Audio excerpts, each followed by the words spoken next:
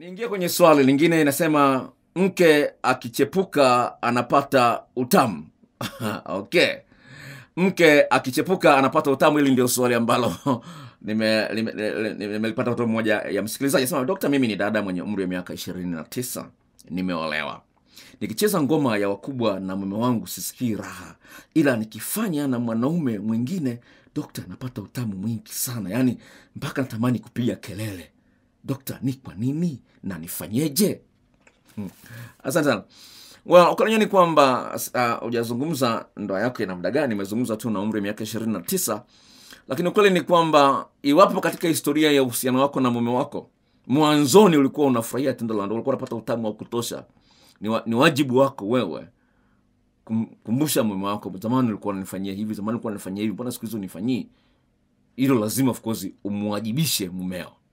Lakini iwapo tokea uolewe hujawahi kufurahia tendo la ndoa na ukaona utamu ukakutana kwa kwa kwa kwa kwa kwa kwa kwa kwa kwa kwa mchepuko, ukweli wenyewe ni kwamba vile vitu ambavyo anakufa, anakufanyia mchepuko sawa, basi hivyo anza kuvikalili ili ukamfundishe mumeo, alafu wachane na mchepuko.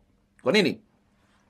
Unless kama mume wako sio mwelewa atakwambia umejifunzia wapi wewe? Eh, ah, no. Kuna wanaume wengine waelewa, unaweza unaweza kumpa story, nimesimuliwa na rafiki yangu, au nimesoma kitabu fulani, nimekutana mahali fulani, nimesoma gazeti au vitu kama hivyo, ile ile, kwa sababu mpaka umetuma swali hilo, manake unampenda mume wako, usingependa ndoa yako ivunjike, lakini bado unapenda utamu vile vile, japokuwa unampenda mume wako, lakini unapenda utamu.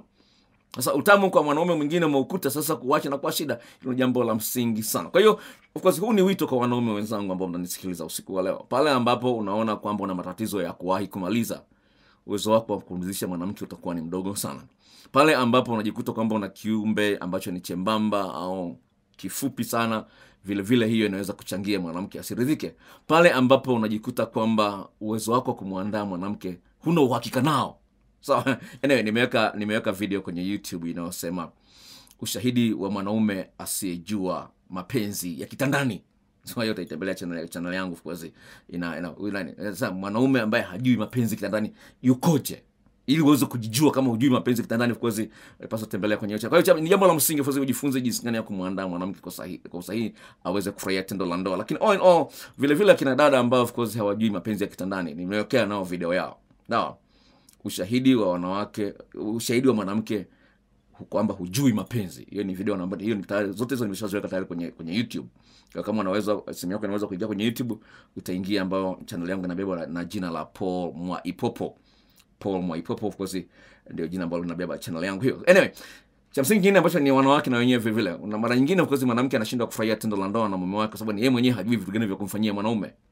Kwa sababu unapokuwa unamfanyia mwanaume vitu fulani unamshikashika hapo hapa unambonyeza bonyeza hapa, unatibua hisia zako wewe mwenyewe. Sasa, kuna dawa nyingine unaambiwa kabla hujaitumia tikisa ile dawa ambazo ziko kwenye maji fomu ya maji maji, sawa? Unaambiwa tikisa kabla ya kutumia dawa. Kwa hiyo unapokuwa na mambo mengi ya kumfanyia mwanaume, unajitikisa wewe mwenyewe, unainua una, una, una hisia, ili itakusaidia sana katika mahusiano yako na mumewe. Swali lingine nimelipa kichwa cha habari, mwanaume asiye na akili aumbuliwa mwanaume asiye na akili aumbuliwa. Dokta, tuligombana na mke wangu na akasema kulikuwa na mwanaume mwenye akili aliyekuwa anataka kunioa, akakosea, akakubali kuolewa na mimi. Dokta, huyu mwanamke nimfanye nini? ntarudia swali hili, nasema tuligombana na mke wangu na katika ugomvi huo akasema kulikuwa na mwanaume mwenye akili aliyekuwa anataka kunioa. Dokta, mwanamke huyu nimweleweje na nifanye nini juu ya hili? Wahindi wa hatari, mnapokuwa mnagombana, ni rahisi sana mtu kusema mambo mabaya ya kukuumiza. Kuna wanaume ambao wameachwa, alafu wanaambiwa kwamba nimekuacha kwa sababu una, una kiumbe kidogo. Sasa hiyo hali kwezi ipo of course. Ni kaka mmoja ambaye nimemsaidia of kuongezea ukubwa wa kiumbe, aliambiwa hivyo na dada mmoja ambaye anasoma chuo kikuu kimoja hapa jijini Mwanza.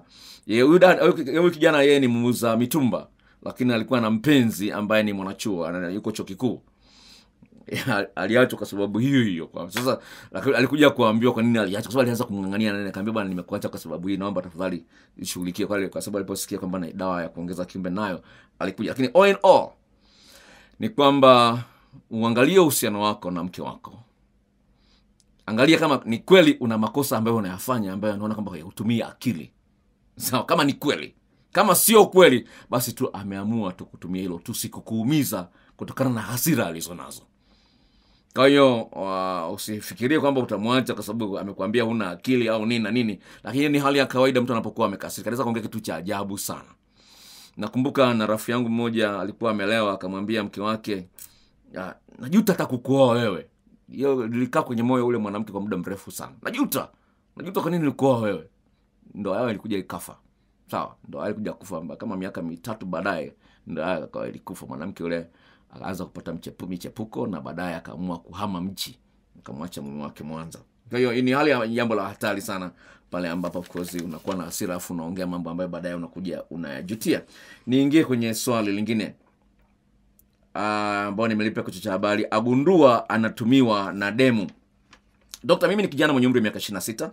Nina mchumba akiwa na mimi ananaambia ananipenda sana ila akiwa na mademu wenzake anawaambia yule bwege achana naye namchuna tu sina mpango wa kuolewa naye. Dokta nifanyeje? Na tumetoka naye mbali. Sasa hii ndio hatari ya kuwa na marafiki wa mbea huwezi ukajua kwamba marafiki zako wanamtaka yule mwanaume ulie naye. Huwezi ukajua.